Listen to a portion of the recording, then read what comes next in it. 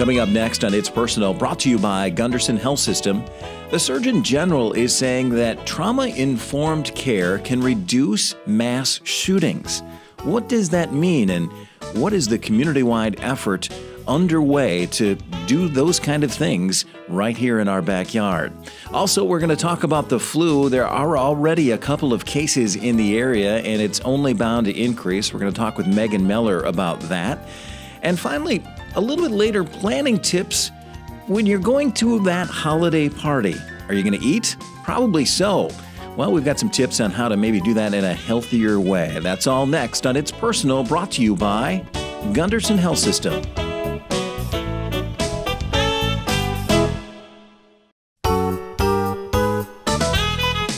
Welcome back to It's Personal, brought to you by Gundersen Health System. I'm Chris Stauffer.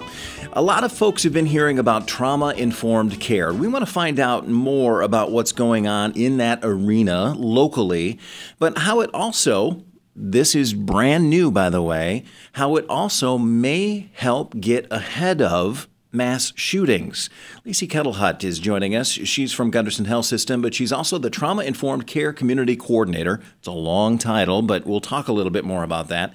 But let's first talk about why trauma informed care may have an impact on reducing mass shootings. We all want to do something. Let's talk about that a little bit. What does that mean? Mm-hmm. Well, if we just start with mass shootings, which is a topic in this country now, unfortunately. And a lot of times, after a situation like that happens, the human brain is exposed to that experience, hears about it, and is trying to make sense of it. So, a first question is often, why? And then many people ask, what's wrong with that person? What would lead a person to do something How is like that, that, even possible exactly. to come through somebody's brain? Yeah.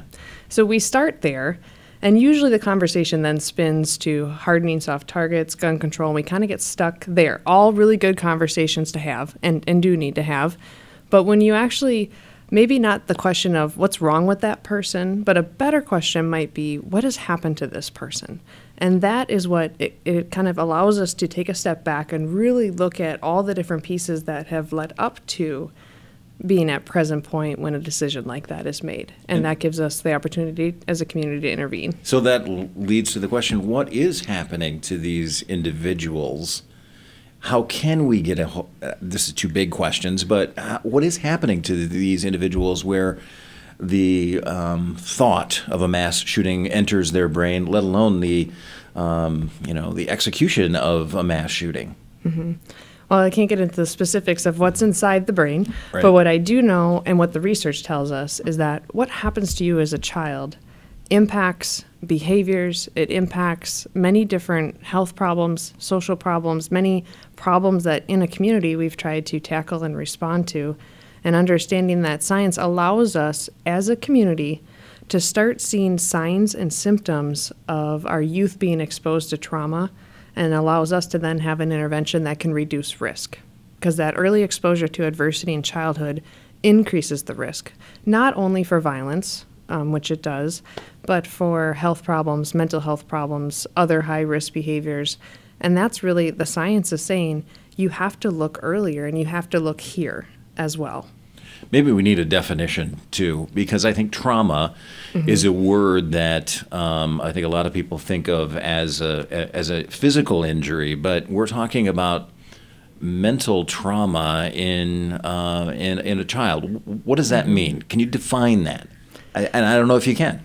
So that, and good to define that because you're right. We do have different definitions of trauma, especially in a healthcare system. Um, but childhood trauma, what we're looking at is things that can happen during childhood, things that are like abuse, neglect, high or really difficult household challenges, where the child is exposed to those experiences that really overwhelm that child's ability to cope with them, and it starts to impact their health and their well-being and their behaviors. And so it's that type of trauma that we're recognizing and now better understanding. So if we can acknowledge this role of trauma, we can then have, and our community can build a different toolkit for responding to it earlier, trying to reduce the risk for things that can happen later down the road. We're talking with Lacie Ketelhut. She's the Trauma Informed Care Community Coordinator at Gundersen Health System. Um, so how what is the what is the Surgeon General saying then? How we can get a, ahead of mass shootings and other issues in our communities?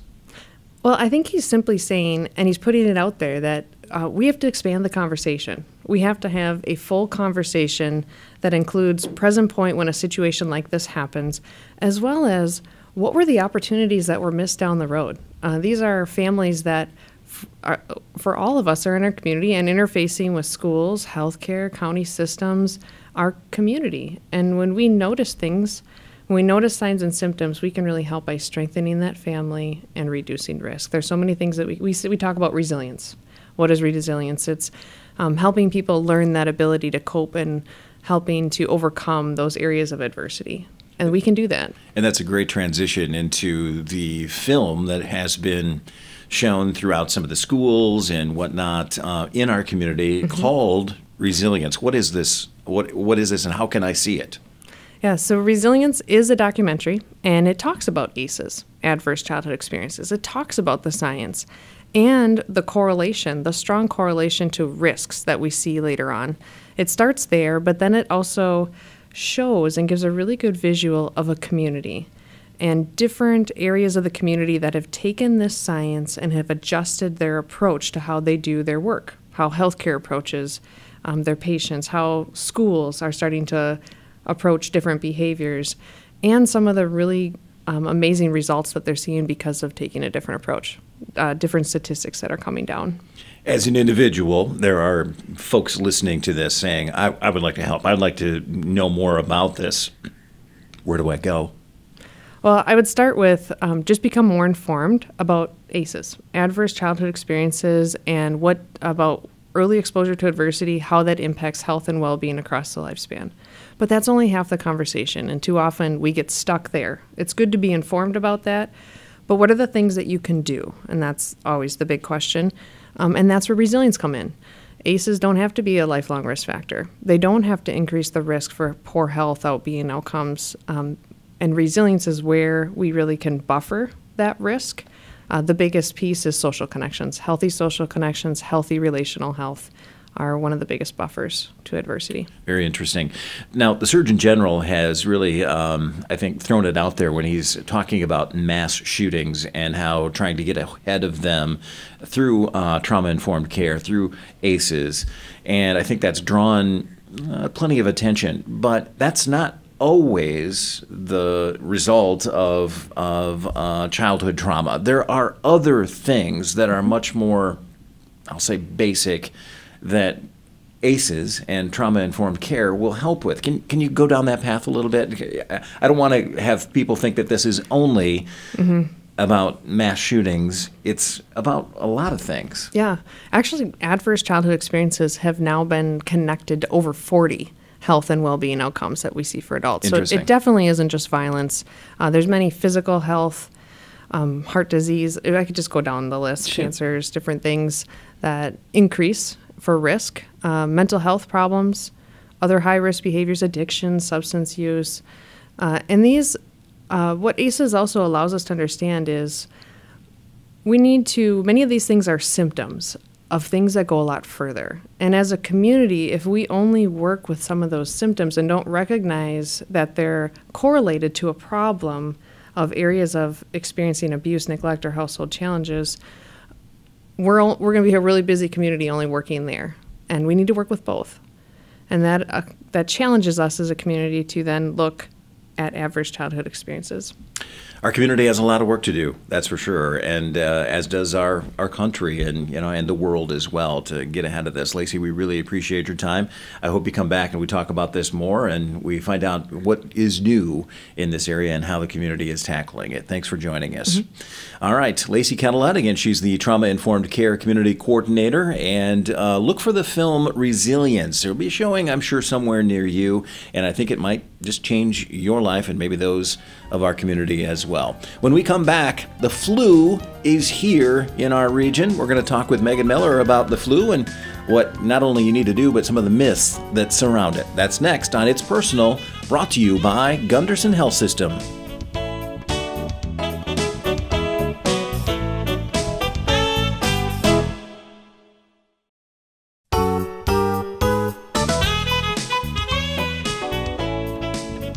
To It's Personal, brought to you by Gundersen Health System. I'm Chris Stauffer. The flu's here. Yes, it's been in the area.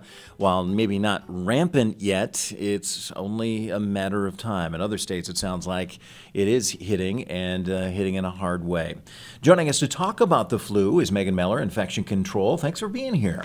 Thanks for having me, Chris. Unfortunately, we got to have you talk about the flu a little every bit. Year, yeah, every year. Yeah, and I know that you know you're going to say get that flu shot right away. Um, people worry about the effectiveness, et cetera, et cetera. But for the for the pediatric pop- population and the elderly population, it's huge.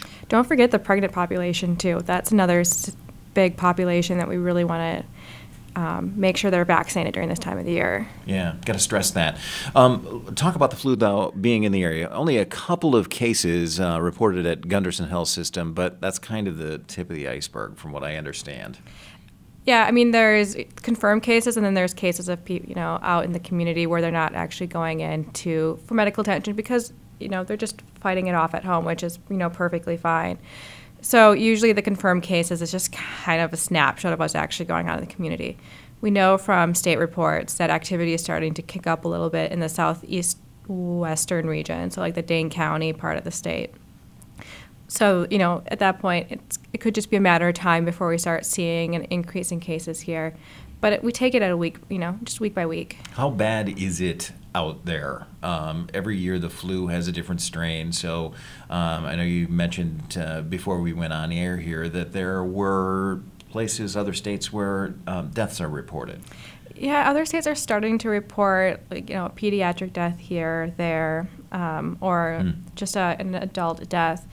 But overall, I haven't seen anything to suggest that the flu is ramping up throughout this throughout the country, which you know, which is encouraging, but that could also change, you know, in a matter of weeks too. Right, especially as we go into the holiday season, where people are having more contact with people from other, mm-hmm. you know, areas oh, of the country. absolutely, yeah. After those, or during those holiday seasons, is when you start do start to see cases ramp up, just because there's a lot of mingling going on, which is you know what we want to see happen during this time of the year. But then it also means this, you know, cold, number of colds go up and flu cases go up.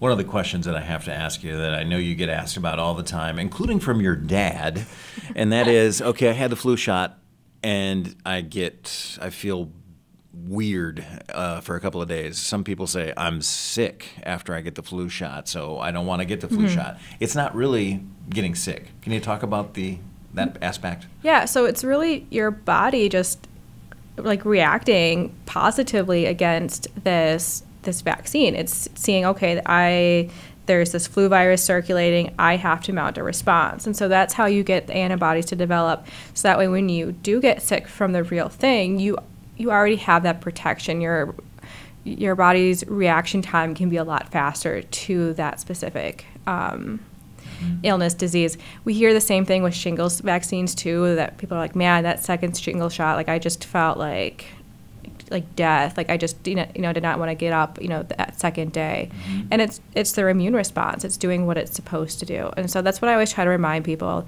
You know, if now if you're truly like full blown sick, it's likely you already had something from you know before that was kind of incubating, but if it's just like a mild kind of under the weather, something feels off as you as you put it, mm-hmm. it's likely just your body putting you know just developing a good healthy re- immune response. Hopefully, your dad is listening here then to this. Um, talk, if you would, a little bit about the difference between flu symptoms and cold symptoms, because a lot of people will say, "Oh, I had the flu last year." Probably wasn't the flu probably wasn't the flu. And also another thing I hear is like the stomach flu. You know, people oh, confusing yeah. like the upper respiratory flu with the stomach flu. And in that case, if it's the stomach flu, you're more likely it's another virus that mainly affects the gastrointestinal system. Now, in um, the pediatric population, vomiting and diarrhea can occur with the actual flu virus, but that's still relatively rare, and it's it's even rare among adults. Now, between differences between cold symptoms and the flu is for the flu, your symptom onset is going to be really rapid, whereas with with a cold, it's going to be a little bit more gradual. You'll more likely have a fever with with the flu, less so with a cold, and you know just overall like that those chills like that headache that people report with a flu you're not going to see much with a cold. With a cold it's going to be more like um, localized to you know you're gonna be congested and stuffy nose like that. Nasal cough that nasal kind of cough yeah. All right. We're talking with megan meller infection control at gundersen health system and um, one thing we should say is there's still time to get your flu shot. There is still plenty of time to go get your flu shot. And this, I, I feel like I can't stress enough. Uh, the Gundersen Flu Shot Clinic is open until the day before Thanksgiving, so the 21st. So go get your flu shot if you haven't yet. There's still other plenty of other locations within the region that are will offer flu shots past you know that time. Even you know including Gundersen, you know we, there's always still primary care providers who all, always you know have the flu shot available for people who want it our pharmacies will continue to offer it past that you know November 21st time. So there are still plenty of options available for people who cannot you know cannot make it to no the cutoff. No matter where you get your flu shot, it's still important it, for for you and for others in our community. Oh, absolutely. Yeah. I always like to stress to people like you're not just keeping yourself safe, you're protecting those who can't be protected. There is a p- large population in our community, those who are under the age of 6 months who cannot be vaccinated. So their their protection against the flu is whether either from their maternal antibodies because antibodies can, can be transferred mm-hmm. through breastfeeding and all, they can also be transferred through the womb, which is again why we want pregnant women to be vaccinated but then it's also just who you're surrounded by. You know, if your loved ones are fully vaccinated, then it's less likely that you're going to pass the flu on to this young child whose immune system, frankly, is still developing and still learning. Interesting. Now, I know that uh, uh, we're talking to somebody in infection control here, but I'm going to give you the, I'm going to throw you a big softball. You can hit this one out of the park. So, holiday season is upon us not feeling well, got a cold or the flu, um, let's just say it's a cold, but you want to hang out with your relatives who you haven't seen for a year or longer in some cases, what do you do? You know, and this is, I can see this being a hard one, just, you know, I'm thinking about myself, you know, like why would I be in that situation? Because you really want to be with family. Like you don't want to be alone during the holidays. But at the same time, I think you need to think about who you're going to be interacting with. If you if you know that most like if you're symptom if you're on like the rebound where like the worst of it's over you're starting to recover and your family is safe you know your family not safe your like your family's pretty healthy then you know it i would go mm-hmm. but still you know be aware like you know, you know proper sneezing etiquette sure. you know, like don't just you know, making sure you're washing your hands, doing like simple steps steps like that can really go a long way in like keeping you healthy from other people. I've had family members who are like, "Oh, I'm sick, so I'm not going to kiss you on the cheek." Yeah, that's perfect. Mm-hmm. Or you mm-hmm. know, no, I'm not gonna, you know, I'm not gonna hug you because I'm still getting over this. Yeah, that's but we can still be in the same room and have a conversation. But we can and, still yeah. have that, you know, at least that mm-hmm. like FaceTime, which is really important during the holiday season. Now, if you're, like I said, like just sick as a dog, high fever, it's best just even from your own personal standpoint, just to stay home, because holidays can be stressful, you know, and stress can make it harder to recover from some of these illnesses. So even if it's just taking like a day or two to say, you know what, I'm just gonna lie low here with my like Christmas cookies or mm-hmm. with my mm-hmm. holiday meal, and then you know once I feel better, you know, I'm ready to mingle. That's great. It's really listen to your body and know like know who, what your family needs. You know, if your family mm-hmm. needs to be, if you have an, a sick grandparent, just be mindful of that. Excellent point. Megan Meller, thanks for joining us. And by the way, happy holidays to you. Thanks. Happy holidays to you too. All right. Megan Meller, Infection Control at Gundersen Health System. Still time to get your flu shot. Please don't forget that. When we come back, we're going to continue with a little bit of a holiday theme. We're going to talk about trying to, well, um, get your waistline in check during the holiday season. How can you eat healthy at a holiday party? We'll talk with Cindy Solis next on It's Personal. It's Personal is brought to you by Gundersen Health System.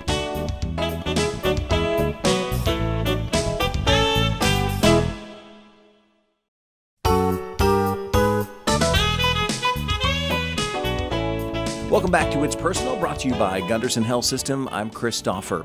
Holiday eating is already upon us. There's holiday parties, there's Thanksgiving, there's Christmas, and everything in between, like leftovers.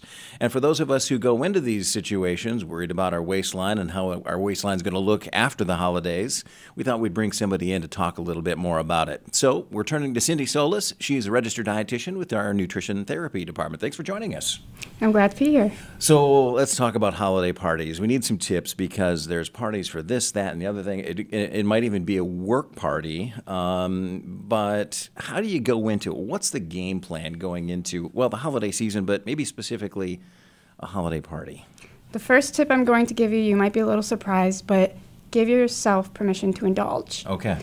One of the easiest ways to so called blow it is by trying to restrict yourself too much. Okay. And while I say give yourself permission to indulge, still be picky about it. So if you're at a holiday party and you pick up some uh, treats on your plate that you Sure. don't like, you shouldn't feel forced or pressured to finish your whole plate or eat all of your food. It's okay to leave the things that you're not enjoying so much. So I grew up in the clean your plate club. You know, my parents were, you know, hey, you're not leaving the dinner table before you uh, clean your plate. Not, Yeah. not, a, not a great idea. No, that's not a great idea. All right. Really uh, enjoy the foods that you want and give yourself permission to leave the ones you don't enjoy so much. I mean, after all, that's why it is a party, right? Your, um, you know, food is a big part of it uh, for a lot of us here in the Midwest. Yeah. Um, talk a little bit, if you would, about um, some things maybe you should look for if you, you know, are going to a holiday party. Things that might be maybe a little bit more healthy. Things that maybe you would look for as a registered dietitian, going, uh, maybe focus on the veggies a little bit, although that's not maybe as fun. Yeah, well, that's a good idea. There, usually at holiday parties, you'll find the things like the veggie trays and the fruit trays, and it's good to balance your meal with those things. But even as a registered dietitian, I'm still going to take a slice of, slice of the pumpkin pie or the apple pie or enjoy some of those things too. But definitely still trying to be mindful of that balance, so incorporating the fruits and veggies. Yeah, so I think the challenge for a lot of us is that you have that one slice of pie, but then the pie is, is sitting there and there's leftovers an hour or two hours later or in the middle of the night. How do you how do you get around that? So that brings up another good point that a lot of times I like to take about 10 minutes or a little longer after I have my first helping and just kind of let it settle and then decide do I really feel like having seconds? Uh, a little time. Yep, take some time and even considering going for a walk. So there's other ways to enjoy the holiday season without having the entire focus be around food. I think for a lot of us at Thanksgiving, it's football and laying on the couch with a nap instead. But a walk does seem like a good idea. Take the dog out, take the relatives Yeah. out, and most people are motivated. They, if you say you're going to go out for a walk, most people will, you know, at least consider coming along. for that. Absolutely. Yeah. So a little exercise burns some of those additional calories. So let's let's talk about um, kind of going into, for example, Thanksgiving Day. So we know we're going to have the big meal. Let's say it's in the afternoon. It might be one o'clock, two o'clock, or noon. How do you wake up in the morning? Or you know, I know some people say I'm going to save my calories for for that big meal and just blow it all at that one big meal. I think I've heard you say in the past that might not be the greatest idea. Can you explain? Yes. So it's important to still be respectful of your hunger and your fullness. Respect your body. So when you wake up in the morning and you know you're having a bigger meal later, don't deprive yourself. Still have your normal balanced breakfast. Um, and then when that mealtime comes, you can enjoy it, but you're not feeling like you starved yourself because we know that when we deprive ourselves, we're more likely to overindulge, eat too quickly, and eat too much. Skipping breakfast is just a bad idea altogether. It is. Yeah, and it Yeah. makes it. Uh, I've heard you say in the past that at night, if you skip breakfast in the morning, at night your body is trying to find some calories to get you through the morning hours. Yeah, that can happen too. It's you really need to start your day off right by getting your metabolism going at breakfast time in the morning. And it doesn't always take a lot. No. Um, if you're one to not really feel all that hungry in the morning, even just a slice of toast with a little peanut butter or a piece of fruit, something is going to be better than nothing. All right, we're talking with Cindy Solis. She's a registered dietitian at Gundersen Health System about holiday eating. It's upon us, and Uh, frankly, some of us get concerned as we go in because we're worried about what uh, that's going to mean come January 1st and all the work that we have to do.